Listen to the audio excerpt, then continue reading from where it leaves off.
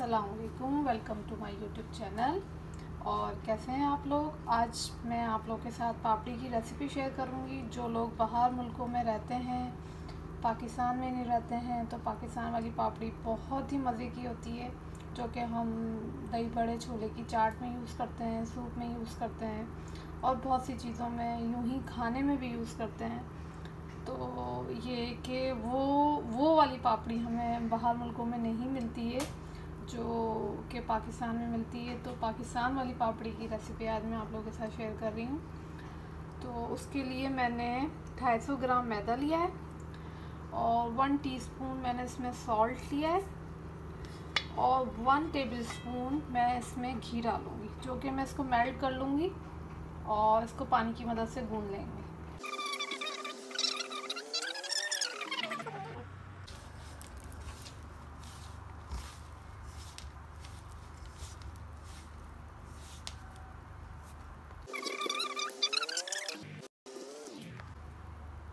आटा हमारा बिल्कुल रेडी है। अब हम इसमें थोड़ा सा ज़ीरा डाल देंगे और इसको भी इसके साथ मिक्स कर लेंगे।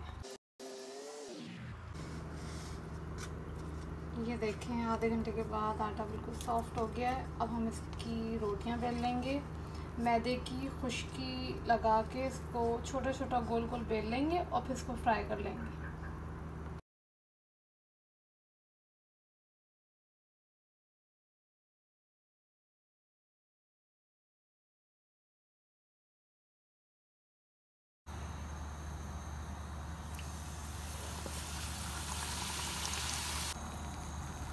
और ये देखें, इस पापड़ी को मैंने गोल्डन ब्राउन कर लिया है। और अगर आप लोगों के पास टाइम हो तो आप इस पापड़ी को बिल्कुल छोटा छोटा मतलब गोल गोल और बारीक सा पतली, जितनी पतली आप बेल सकते हैं, आप पतली बेल के खुश्की की मदद से बेलना होगा ऑयल की मदद से नहीं बेलना होगा। और फिर आप इसको दो घंटे के लिए या एक घंटे के लिए आप धूप में इसको रख देंगे। अगर आपके घर में धूप आती हो धूप मेरे घर नहीं आती है तो फिर मैंने डायरेक्ट बना लिए और ऐसे भी बन जाएगी, लेकिन उससे और भी अच्छा रिज़ल्ट मिलेगा। तो ये देखें, ये पापड़ी हमारी तैयार है। इसी तरीके से सारी गोल्डन ब्राउन करनी है।